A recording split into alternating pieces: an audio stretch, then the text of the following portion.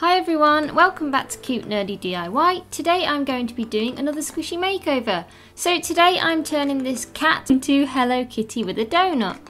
So I got this squishy from a toy shop in the UK for £4.99, which I thought was quite expensive considering all the marks and all the weird kind of bad paintwork and bits of paint falling off and stuff like that. Like the eye isn't even in the right place, so there's some misprinting. And overall, I don't really think it's worth £4.99. So to start the makeover, I've gone and used my usual mixture of acrylic paint, PVA glue and shaving foam and I've done this in a white to try my best to cover up the cat. Now to start with, I didn't actually know that I was going to do Hello Kitty, it was something that I kind of decided as I went along and I didn't really know the best thing to do with the fish. But in the end, I realised that I could make it into something like a little cake because the 3D was too much to actually get rid of it completely. So I went over that on both sides and I let that dry. As you can see, it dried kind of a bit messy, so I went over it with another coat. So here you can just see how much measurements of everything I used.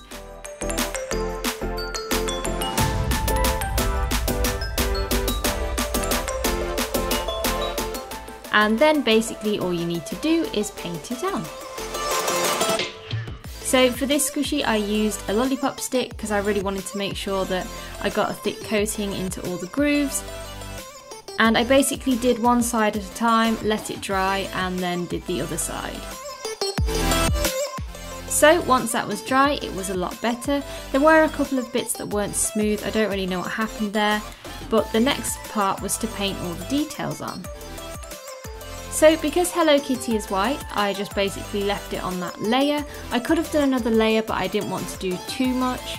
But the next step, I kind of decided I was going to give her a little kind of, I don't know, I think it's a probably a blue jumpsuit or something. But I used another another mixture of paint for this and I basically just took my smaller paintbrush and started to paint around all the legs and the arms until it kind of looked a bit like a jumpsuit.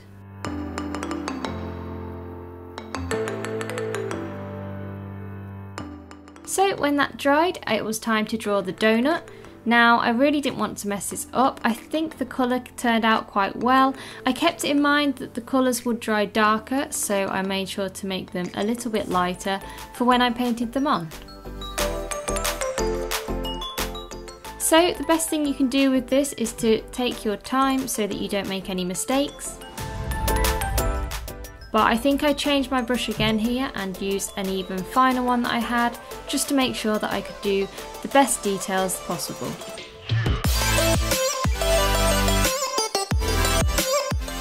So this was kind of a really fun one to do because I wasn't actually going off any picture, I was just kind of making it up and I thought I could change it into something like maybe some bread or a cake and in the end I decided to go for a donut because I thought that was probably the best shape from what I had to work with.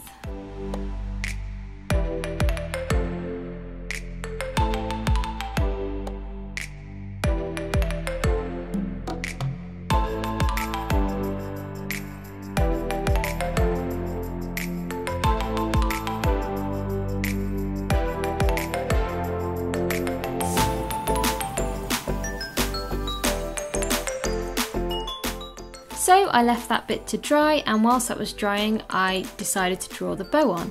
So I kind of started this off quite small and then I made it bigger as I went along until it looked the right size. Also as you can see in the donut I drew a darker shade to show the hole.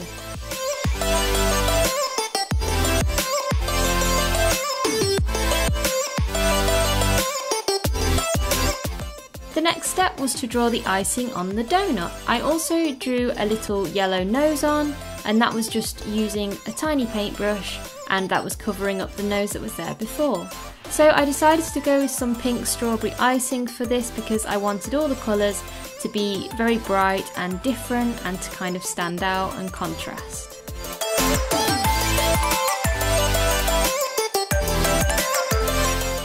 Once again, just make sure you take your time with all this type of thing because it is quite difficult if you make a mistake to get the paint off the white and you would have to go over that a couple of times if you wanted to kind of mend your mistakes. So just take your time, don't rush anything, and it's actually quite relaxing when you're doing it.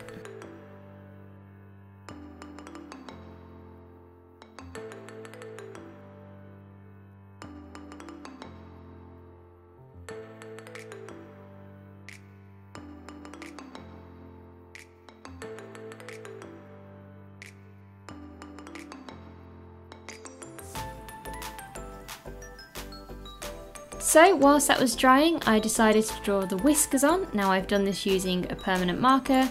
I could have used paint, but in this case I wanted to just make sure that I did it neat, so I used the marker because it was easier.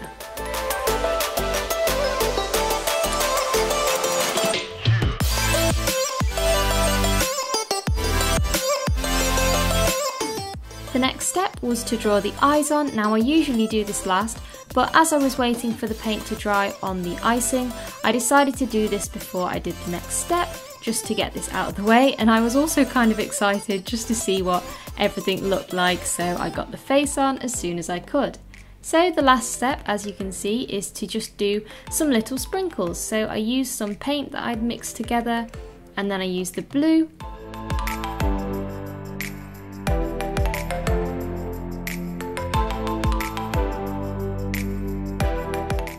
Is it better than the Totoro one? Oh, I don't know. I think maybe. I, am not sure. You'll have to let me know yourselves. But I was so, so happy with this one and I really think it turned out really well. So after that, the most important thing is time to see how it squishes. And oh my gosh, I could not believe how squishy this became and how slow rising it was. Like it was so much more slow rising than it was before and so so satisfying.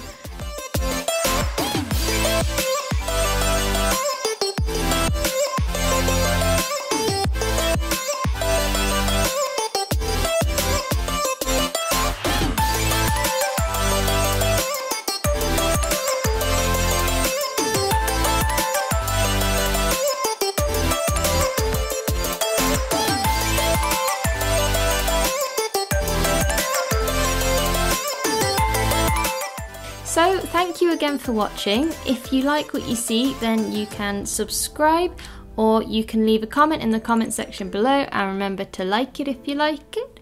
And I will see you in the next video.